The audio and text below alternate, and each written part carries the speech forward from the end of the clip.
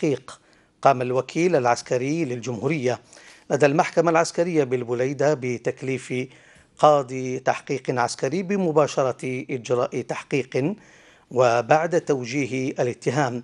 أصدر هذا الأخير أوامر بالإيداع في الحبس المؤقت للمتهمين الثلاثة.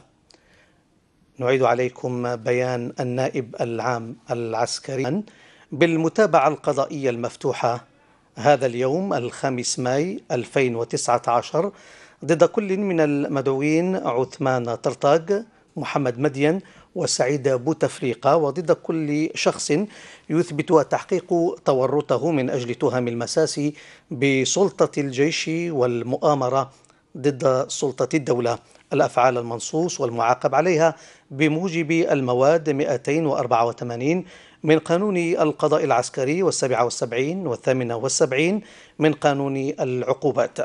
ولضرورة التحقيق قام الوكيل العسكري للجمهورية لدى المحكمة العسكرية بالبليدة بتكليف قاضي تحقيق عسكري بمباشرة إجراء تحقيق وبعد توجيه الاتهام أصدر هذا الأخير أوامر بالإيداع في العام علما بالمتابعة القضائية المفتوحة.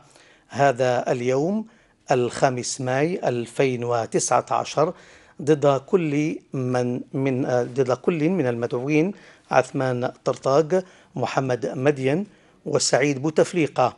وضد كل شخص يثبت التحقيق تورطه من أجل تهم المساس بسلطة الجيش والمؤامرة ضد سلطة الدولة.